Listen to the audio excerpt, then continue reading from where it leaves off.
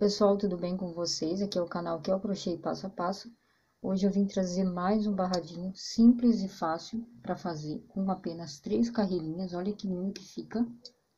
Bem perfeito aqui nas laterais, ó, tá? Então, olha só, bem simplesinho para fazer, bem rápido, tá bom? Olha só, fiz esse aqui e esse aqui para mostrar para vocês. Olha que lindo que ficou nesse amarelo aqui, ouro. Esse aqui eu fiz com linha Anne, agulha número 2. Olha que pano lindo. E esse aqui eu fiz com a linha Duna. Com a linha Duna número 2, tá? Então, dá pra fazer com linha Duna também, tá? Olha que lindo. Duna não, gente, perdão, amigurumi, tá? Com linha amigurumi que faz... É, amigurumi.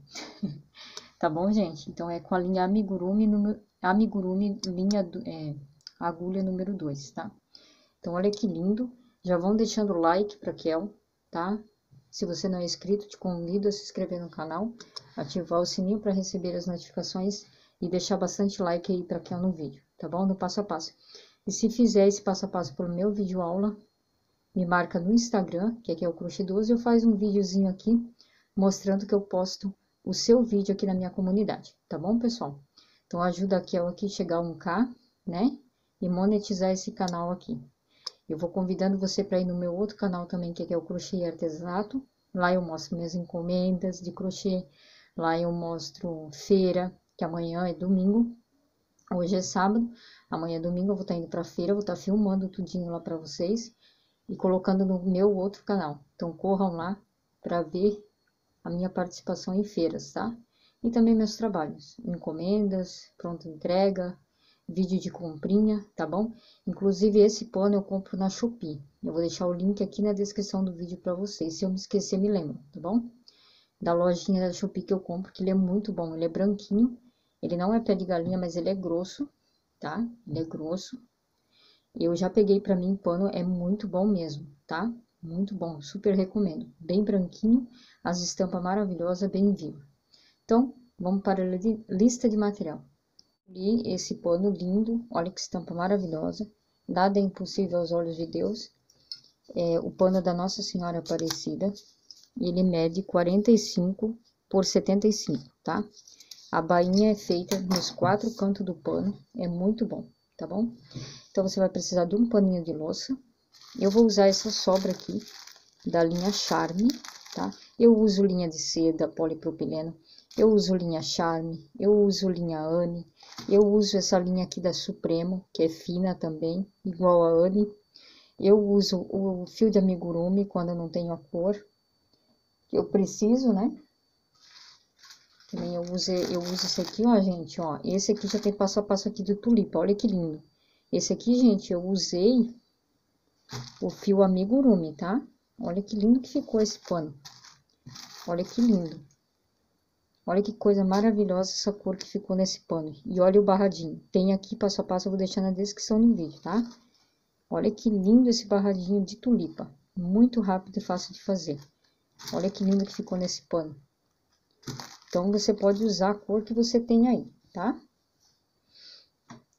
Ó, esse aqui é o amigurumi que eu falo pra vocês tá sem o papel, tá bom?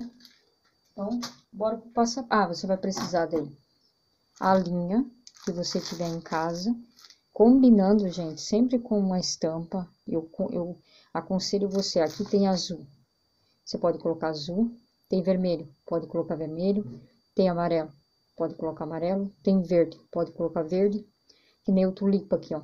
Tulipa dá para você jogar o vermelho, o verde, o amarelo, ah, vermelho ou amarelo, verde ou amarelo, então fica bem legal. E também dá para usar o branco, você pode fazer três cores, você pode usar o vermelho, o branco, né, tipo o vermelho, o azul, e no último você pode jogar o branco, fazendo três camadinhas de cores diferentes para aproveitar as sobrinhas, tá bom? Você vai precisar de uma agulha número 2, para esse fio charme, para o linha Anne, você pode usar 2 a 1,75 e a tesoura para o arremate. E eu te aconselho a passar na pontinha essa cola aqui de silicone líquida. Ou aquela, aquela outra pega mil. Pra colocar um pinguinho nos arremates, pra firmar mais o seu trabalho, tá bom? Então, bora pro passo a passo. Vamos lá, gente, eu vou virar meu paninho, assim, tá? E eu vou cortar a etiqueta, eu não deixo a etiqueta, eu acho ruim deixar a etiqueta na hora de fazer o crochê. Aqui, cortei a etiqueta, se você não corta, não precisa. Esse aqui, gente, ó, eu falei que é o amigurumi que eu uso. A agulha recomendada de crochê é 2 a 4, tá? Essa daqui, ó, pra quem não sabe. Tá bom? Que tem iniciante pra saber, ó. É a fina, é a fina, né? Não é grossa, grossa. É um pouquinho mais grossa que a linha Charme. Então, bora lá. Vamos pegar nossa linha. A linha Charme essa cor aqui é 1236 e a cor lima. É muito linda essa cor aqui. Tem 396 metros, 100% algodão. E a agulha recomendada de crochê é 2,63, mas eu vou usar 2, tá? Pode usar 2,5 também, tá? Nessa daqui. A Anne você pode usar, a, a linha de seda e a linha Anne, você pode usar a 1,75 de A2, tá? Eu tô usando a 2 na minha porque eu gosto de trabalhar com cabo de madeira. A, a minha de madeira, a 1.75 eu perdi dentro de casa, gente. Não sei onde é que foi parar. E aí aquela de ferro cansa muito a minha mão. Aí eu uso essa dois aqui agora. Então, vamos lá. Aí eu venho aqui no cantinho. E aí eu busco o meu fio.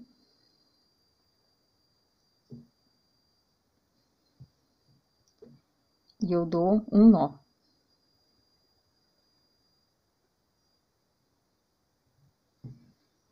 Eu entro aqui, eu busco meu fio lá atrás, eu pego esse fio aqui e pego esse que eu lacei e prendo os dois junto. Pronto. Eu faço três correntinhas. Aí você vem aqui no mesmo lugar, ó. Entra, puxa, sempre puxa bem, ó. Prende com ponto baixo três correntinha, entro novamente aqui no mesmo lugar e prenda com ponto baixo. É um ponto alto alongado, né? Então, ele vai ficar esse com os três aqui. Você, se não quer, eu faço nos quatro cantos do pano assim. Se você não quiser, você pode fazer aqui e esse aqui. Não precisa fazer esse aqui, entendeu? Mas eu faço, eu acho mais bonitinho. Você faz três correntinhas. Você sempre faz isso aqui com a sua agulha, ó. Você que é iniciante, ó. Faz isso aqui com a sua agulha. Não faz muito largo e nem muito estreito. Estica bem o fio. Quando bota esse dedo aqui atrás para apoiar. Quando você notou que tá retinho o seu pano e ele não está assim que fica feio, você deixa bem retinho o seu pano, aí você prende com ponto baixo. Ó, ele vai ficar retinho. Deixa o seu pano retinho, a sua bainha retinha, para não ficar dobrado. É feio, tá? Ó, três correntinhas. Ó, faz assim com a tua agulha e entra. Tenta deixar os espacinhos igualados, ó. Fica bem bonitinho. Então, aqui é bem fácil. Você vai fazer esses caseadinhos e você vai contar até dar número ímpar, tá? Quando deu o número ímpar, aí você continua a fazer a bainha, o caseado, ao redor do pano. Uma vez uma iniciante me perguntou se tinha que contar aqui o caseado, se tinha que contar no pano todo. Não, é somente aqui que você conta, nessa parte que você vai fazer o barrado. Você vai contar números ímpares. O restante que você der a volta no pano todinho, não precisa contar o caseado, tá bom? É só aqui nessa parte aqui, ó, onde eu desenho aqui, ó aonde você vai fazer o barrado, tá bom? O restante você não conta, só nessa parte da frente aqui embaixo. Você vai contar, fazer caseado que dê números ímpar. Se você fez número ímpar, vai dar certinho esse barradinho. Então, faça e dê a volta inteira no pano. Aí, eu volto para mostrar o barradinho. Então, gente, eu dei a volta aqui, ó. Aí, quando eu, eu chego aqui, eu venho aqui, ó, nesse ponto alto aqui do caseado, entro e faço um ponto baixíssimo. Acabei o caseado. Então, agora eu entro nessas correntinhas e vou caminhando com ponto baixíssimo até chegar lá em cima. Até chegar aqui em cima. Cheguei aqui em cima, eu entro aqui dentro das correntinhas e faço um ponto baixo. Aqui já me serve como uma correntinha esse ponto baixo. Então, eu faço mais duas, que dá o meu primeiro ponto alto. Eu laço aqui dentro novamente, eu faço mais um ponto alto. Aí, eu vou fazer duas correntinhas, eu laço, eu entro aqui dentro novamente desse caseado e faço dois pontos altos. Então, vai ficar assim, ó, um leque de dois pontos altos, duas correntinhas e dois pontos altos. Eu vou trabalhar duas correntinhas, eu laço meu fio, eu pulo um caseado e venho pro próximo. Pulo um caseado e venho pro próximo, entro, e eu vou fazer um ponto alto, mais um ponto alto aqui dentro, duas correntinhas de separação, eu laço, eu entro aqui novamente nesse caseado e faço mais dois pontos altos. Ficando com um leque de dois pontos altos, duas correntes, dois pontos altos separado por duas correntinhas, pulando um caseado. Então, eu faço duas correntes, pulo um caseado, um quadradinho, e venho no próximo, eu entro e faço um leque de dois pontos altos aqui dentro, duas correntinhas, entro aqui dentro, dois pontos altos. Então, assim você vai fazer até o final. Ó, duas correntes, pulo um caseado, vem no próximo. O meu deu 33 caseado, número ímpar. Ó, dois pontos altos, duas correntes, entro aqui dentro, dois pontos altos. É bem facinho de fazer. Duas correntes, Vou pular um caseado, venho no próximo e faço um leque assim, ó. Então, faço até o final, ali no finalzinho eu volto pra gente fazer a próxima carreira. Gente, olha que bonito que fica. Acabei aqui, ó, daí, ó, deu certinho. Se você fez ímpar, ó, pula um e o último tem que ficar um leque de dois pontos altos, duas correntes e dois pontos altos, que nem no final, ó, tá? Tem que cair certinho. Aí, você vira o trabalho Bem facinho, ó, bem facinho. Você só vai assistir uma vez a aula e já aprendeu. Ó, você entra aqui no próximo ponto alto e faz uma, um ponto baixíssimo. Entra aqui dentro do leque e faz um ponto baixo. Então, esse já conta como uma correntinha. Aí, você sobe duas correntinhas, que daí já ficou três, é, que me vale como ponto alto. Porque o ponto baixo conta como uma corrente e eu subo duas já deu um ponto alto eu laço, entro aqui dentro e faço mais um ponto alto. Então, você vai seguir a sequência. Um leque em cima de leque, tá? Um leque de dois pontos altos, duas correntes, laço, volto dentro do mesmo leque e faço dois pontos altos. Bem facinho, ó. Permanece com duas correntinhas de separação, laço, eu já venho, entro dentro desse próximo leque aqui, ó, sempre entrando dentro do leque. E já faço dois pontos altos duas correntes, entro aqui dentro do leque e faço dois pontos altos. Duas correntes, entro aqui dentro desse próximo leque, dois pontos altos, duas correntes e dois pontos altos. Somente isso você vai fazer essa volta aqui. Então, faça assim até o final, olha que bonito. Aí, eu mostro a última carreirinha para vocês.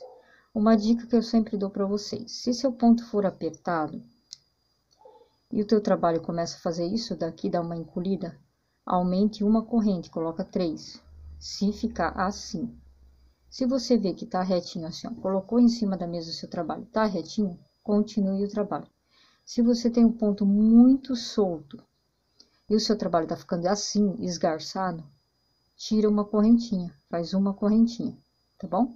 É na correntinha que você vai regular aqui o seu ponto, tá bom? Faça até o final, daí eu volto no final ali com vocês. Então, pessoal, terminei, ó, tá retinho meu trabalho.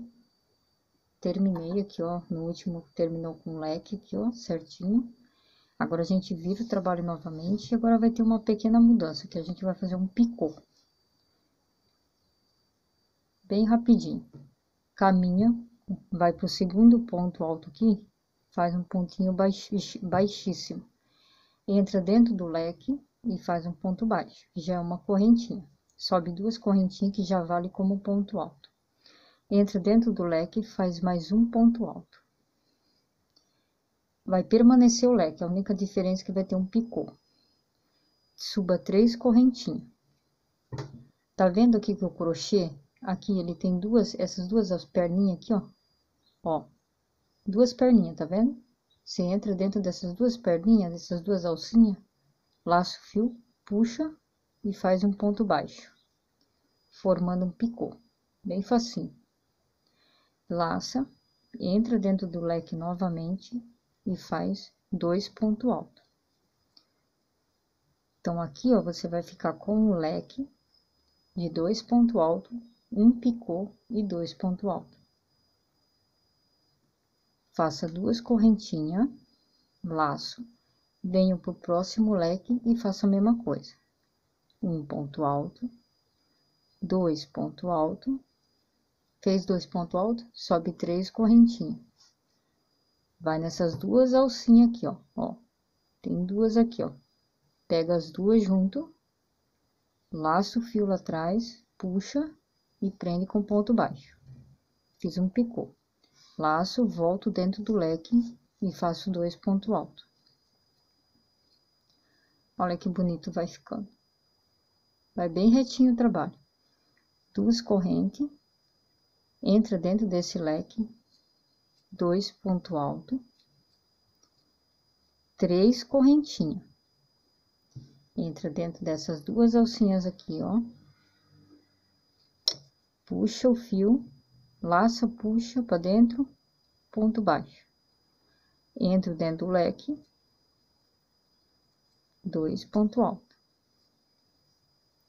Ficando assim, duas correntes, dois ponto alto, três correntinhas para subir, pego nas duas alcinhas, laço fio, puxo, ponto baixo. Entro aqui dentro, dois ponto alto duas correntinhas. E assim trabalho até o final. Eu volto lá no finalzinho com vocês. No último leque, vou fazer o leque. Dois ponto alto. Subo três correntes. Pego as duas alcinhas. Prendo com ponto baixo. Faço mais dois ponto alto. Aqui você faz uma, duas correntes puxa o fio. Agora a gente acabou o trabalho. Deixa um pedaço para nós arrematar aqui, ó. Gente, se lembra quando eu mostrei para vocês? Ainda sobrou um pouquinho, ó. Já dá para fazer algum trabalhinho de imã de geladeira, tá? Ou chaveirinho, ó. Com esse aqui, nada jogado fora. Então, olha só, ainda me sobrou. Tu, vocês viram o restinho que tinha, né? E ainda me sobrou, para ver como é econômico esse barradinho. Você puxa aqui, ó. E você, ó, pega a tua unha aqui, ó, e puxa pra baixo. Dá pra não arrebentar o fio, ó. Tem aqui atrás. Eu entro aqui dentro. E vou escondendo meu fio aqui, ó, fazendo, ó, uma correntinha. Puxo, dou uma puxada de novo. Vou puxando ele aqui pra baixo faço uma correntinha, puxo novamente. Eu entro aqui dentro, ó. Puxo aqui para trás, aí eu venho aqui de baixo, faço mais um nozinho, ó. Puxo, passo a alcinha por dentro da buraquinho e corto. Aí, o que que eu faço? Corto bem rente, venho com a colinha e pingo aqui, ó pouquinho de colinho. Ó, não solta mais. Mesmo se você não passar, ele não solta, mas como é batido bastante na máquina de lavar roupa, eu aconselho sempre passar, tá? Esse aqui que você deu um nó, ele já tem um nó, né? Então, você só pega eu pego, faço aqui de novo um nozinho, ó. Puxo, corto rente e passo um pinguinho de colinha. Ó. Pronto. Fica mais garantido o seu trabalho, tá bom? Sempre dou esse conselho para vocês que é muito bom, porque minha mãe, minha família já comprou muito paninho de prato de mim e não se abriu batendo na máquina. Tá bom, gente? Então, quando vocês fazem os paninhos de louça com a linha de seda, não, com a linha Anne, com a linha Amigurumi ou com a linha é, Charme, a, fala para sua cliente que não pode botar aqui boa, que daí ele sai a cor. Mas se você fizer com fio de seda, a cliente pode usar aqui boa que não sai a cor, tá? Você pode falar isso também, é bom você falar para sua cliente, porque nem toda sabe. E o fio de seda não pode passar o ferro, tá? Não pode passar o ferro. Então, eu vou trazer ele prontinho aqui na mesa para vocês. Olha que lindeza de barradinho. Aproveite, fazem bastante. Olha que perfeito ficou. Aqui eu tô mostrando em três linhas para vocês, diferente uma da outra. E olha que lindeza que ficou esse pano. Aproveitem, fazem o passo a passo, me marcam, gente, lá no Instagram, que é o Crochê 12, tá bom? Eu vou ficar muito feliz é, se vocês fizerem pelo meu passo a passo, tá bom? Um grande beijo para vocês, Deus abençoe a vida de cada um de vocês. E até o próximo passo a passo aqui, que eu vou trazer mais barradinho, eu vou trazer imã de geladeira, eu vou trazer chaveiro, eu vou trazer muita coisa aqui legal para vocês, tá bom? Compartilhe o vídeo com amigos e amigas para fazerem esse lindo barradinho. Tchau, tchau, pessoal. Até o próximo passo a passo.